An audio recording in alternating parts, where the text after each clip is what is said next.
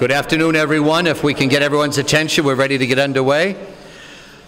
If I'd known this was going to be this many people, I think we would have stayed outside, but uh, the rain was getting a little threatening, so we thought it uh, best to bring, uh, bring this uh, uh, ceremony inside. I truly do appreciate everyone uh, being here today as part of our participation in National Gun Violence Awareness Day. Uh, Today is part of the Wear Orange campaign. Orange is the color that hunters wear to warn other hunters to not shoot them. And uh, so we symbolically wear orange today as part of the Wear Orange campaign. Um, Today, over 200 mayors across the country will issue proclamations in their cities recognizing today as Gun Violence Awareness Day. So uh, I truly do appreciate everyone that's turned out, and we have uh, several folks here that I'd like to uh, give the opportunity uh, to speak. Um, Certainly, I think here in the city of Brockton and uh, with the Brockton Police Department, uh, we pride ourselves and, and on cooperation with other law enforcement agencies, federal, state, county, and local, and that we really do believe that uh, the most effective strategy is sharing resources and identifying targets of mutual interest and, and uh, working together. And I think that's no better symbolized than by uh, our relationship with uh, Plymouth County District Attorney Tim Cruz and all the people that work with him. The state troopers assigned to the district attorney uh, work side by side uh, with Brockton police detectives every day. They're here in the city every day, and we uh, appreciate what they do for us. And the district attorney could not be here, but uh, we did just as well. We've got the first assistant district attorney and uh, retired judge uh, Rick Savignano to join us. So, Judge.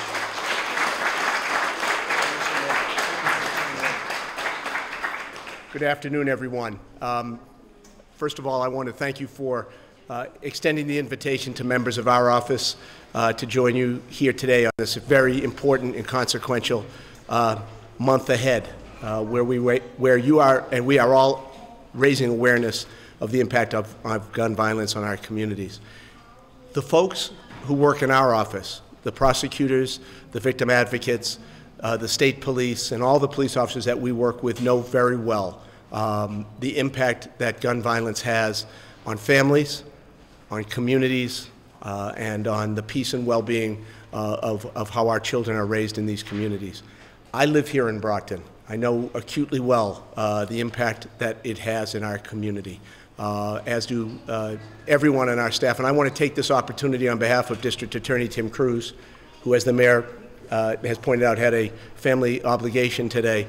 I'm joined here today by uh, probably over 20 of my colleagues from the district attorney's office who are each and every day committed, seven days a week, uh, to uh, investigating and vigorously prosecuting crimes of violence, crimes that involve handguns, uh, and we are acutely aware of that issue. We work very closely with the mayor's office, with the Brockton Police Department, and all the other resources in this community. Um, and I join each and every one of you today in proudly wearing orange. Uh, and uh, we should not just wear orange today, but in our hearts, in our minds every day. We should be committed to this issue and care passionately about it. I know that my colleagues in the district attorney's office do. And I want to take this opportunity, as the mayor has just done, to reiterate I want to commend all of my colleagues. They do a magnificent job of prosecuting the cases that come to us uh, in this community and throughout Plymouth County. Thank you, Mr. Mayor.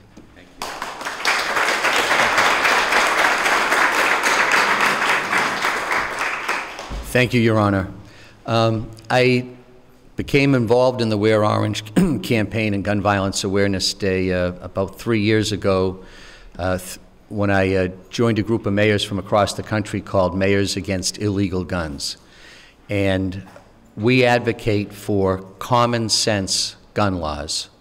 We don't debate the Second Amendment. I personally support the Second Amendment. I used to have a license to carry at one time in my life.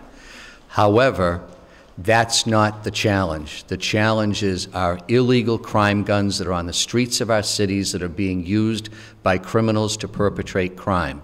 And that's what we're after.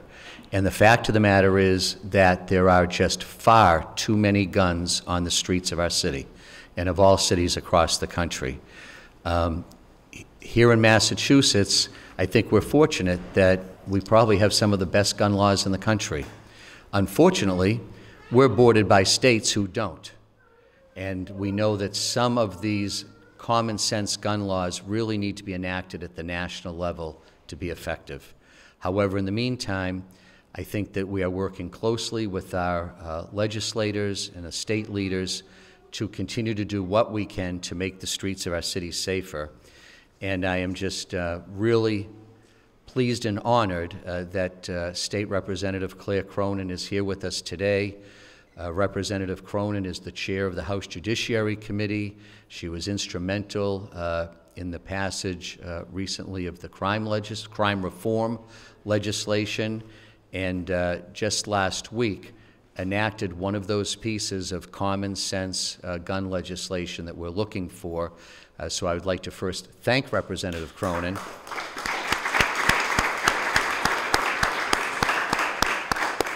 And invite, invite you up to make some remarks. Thank you very much. It is my pleasure to be here. Last week in the House of Representatives, we passed um, a very common sense piece of legislation. It's, some of you have probably heard the term. It's called an ERPO piece of legislation. It's for extreme risk protection orders. And this piece of legislation builds on what we already did in the state legislature in 2013. Massachusetts enacted one of the strictest but most common sense gun laws in the country. As a result of that, Massachusetts has the lowest number of gun deaths in the whole nation. Uh, but there was still more to be done. And while we are always very cognizant of the Second Amendment and the right for people to bear arms and the right to due process, we know that we are in a crisis oftentimes. So this piece of legislation allows family members or roommates to go to the court and seek an order if they believe that someone in their home is a danger to themselves or a danger to others. And it allows the judge to hear the evidence and to remove the guns from those homes if it's necessary. Uh, this is a piece of legislation that we think will also have a very, very deep impact on our veterans. Uh, veterans have some of the highest suicide rates in the nation, and the weapon of choice for most veterans when they choose to take their life is a gun. Uh, so the veterans groups are very happy with this. But we have preserved due process. There's a right to a hearing, there's a right to an appeal. And we hope that as we build upon what we've already done, that this will help save lives in the Commonwealth and keep us on top in the nation and the amount of gun deaths. Uh, the bill will be taken up in the Senate next week, and I'm sure it will also have a very similar, strong uh, bipartisan vote on that. So I just wanted to make you aware of that. I want to thank our law enforcement officers in particular who put their lives on the line every day in this city. I mean, we have had uh, some recent shootings that you are all aware of. Uh, they are on the front lines and doing all that they can to protect us. So I would just ask that if you meet one of our offices uh, in the course of your business, thank them for all they do. And thank you for being here.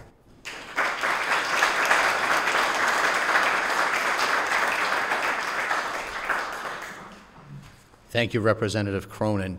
I should mention that as part of the, the, the Wear Orange uh, recognition uh, today, that tonight, uh, City Hall will be illuminated in orange light tonight as part of that. Uh, so we're going to see how it looks. We've installed the orange lights. The, the color of a lot of the building of the brick is close to orange, so we'll see how it looks. But we, we have installed orange lighting for tonight, exterior lighting to shine on City Hall. So anyone that drives by City Hall tonight will see City Hall as a symbol uh, of our commitment to the Wear Orange campaign.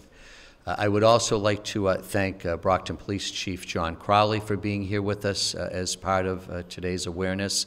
And uh, from the Brockton Police Department, as part of tied to today's event, tomorrow from 10 to 2, the city will be conducting a gun buyback. So tomorrow from 10 a.m. to 2 p.m., uh, we will be exchanging supermarket gift cards for working handguns. This will be our fourth gun buyback.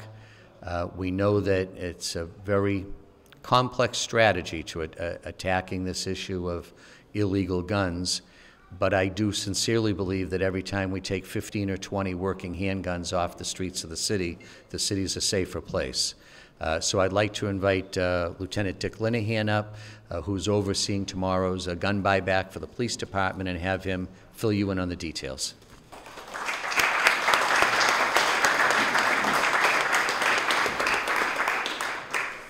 Good afternoon.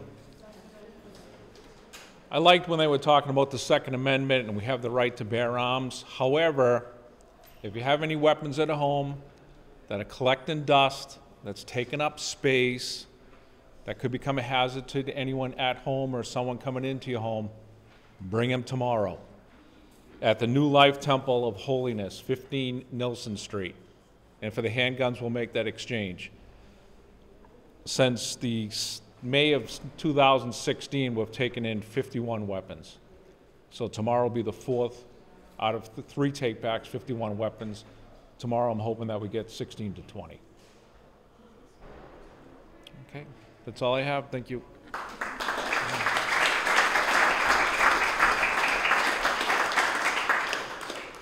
Thank you. And uh, we have conducted these buybacks at, at uh, primarily church locations. We also did one at the Council on Aging that was uh, very successful because we know that seniors who have guns in their home can often be a target uh, for those who are looking to uh, acquire a gun illegally. And uh, so it's, this really is a multifaceted effort.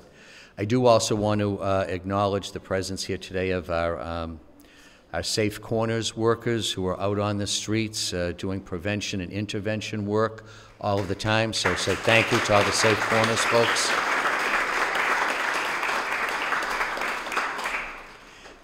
They are uh, another part of the effort in, in being able to intervene and, and sometimes prevent something from happening before it does.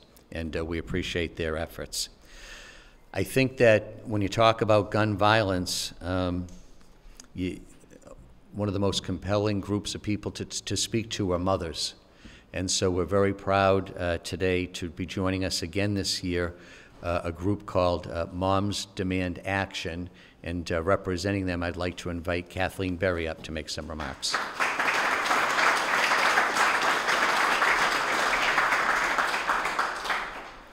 Thank you, Mayor Carpenter. A big thank you to you and the staff of the city government of Brockton and all your invited guests, especially law enforcement and the local state legislators that are here for your commitment to gun violence prevention. By organizing the proclamation today and the gun buyback program tomorrow, Mayor, you are sending a strong message that um, it is simply unacceptable to have gun violence on our streets, and that violence is not the answer to anger or problems, and that we have to be ever uh, vigilant to ensure that um, illegal guns and unsecured guns fall into the hands of the wrong people. The public needs to know that we face a gun violence epidemic in this country that takes the lives of an average of 96 citizens and residents every single day, mostly gun suicides and gun homicides. Every day in America, seven children and teens have their lives cut short by gun violence. An additional 40 are shot and survive. Can you imagine the grief that these families and communities face with this kind of situation on a daily basis? And can you imagine the staggering loss of human potential? As a member of Moms Demand Action for Gun Sense in America, um, I'm very proud. We are the largest grassroots organization in this country working to reduce gun violence. Today and through the weekend, we in the gun violence prevention movement and our millions of supporters are wearing orange, just as the mayor said, like the hunters who wear orange to be seen and to stay safe. We want to be seen and we want to stay safe. We are shining a spotlight on this problem. We are the mothers and fathers, the students, the young people, the children, and all concerned citizens who yearn for a safer America and a safer Brockton. Um, we can achieve this goal with common sense solutions that nonetheless respect the Second Amendment. And so we simply ask our local, our state, and our federal politicians to put politics aside and to enact evidence based policies that have been proven to save lives. And equally important, we ask citizens and residents to exercise the utmost responsibility when it comes to owning and handling and safely securing their firearms. In Brockton and across the state, Moms Demand Action is building our outreach and bringing our message to the local communities. Building on the momentum of the mayor's proclamation about a year ago in June, uh, and with the support of your local state legislator delegation, we brought our message to Brockton in November and again in January of 2018, and we look forward to building from there. In conclusion, the bottom line is we will only solve the gun violence epidemic if enough members of the general public get off the sidelines, stand up, and lend us their voices. Thank you so much for being here today. We appreciate your commitment to gun violence prevention.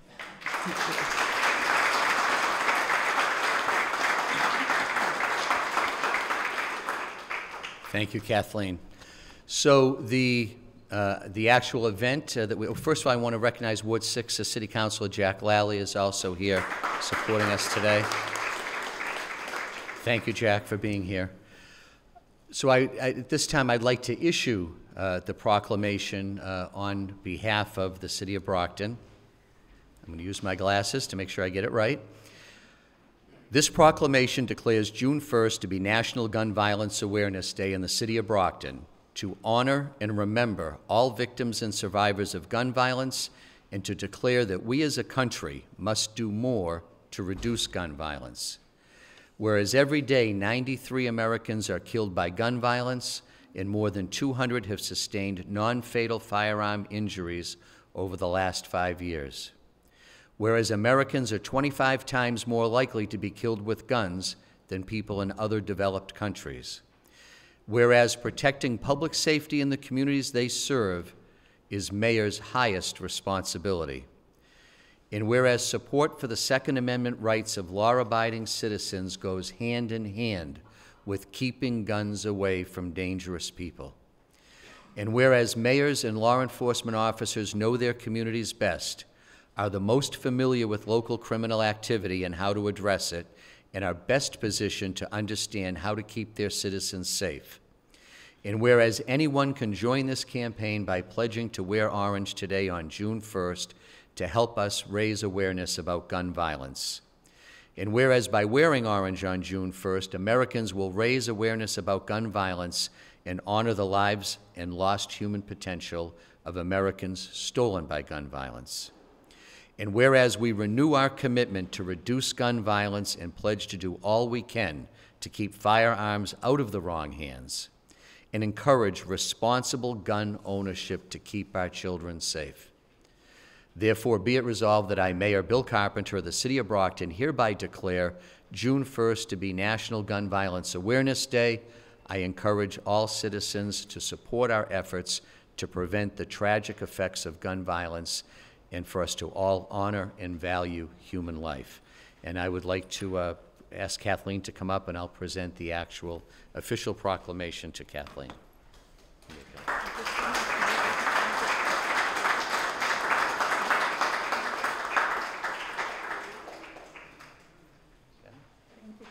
Okay.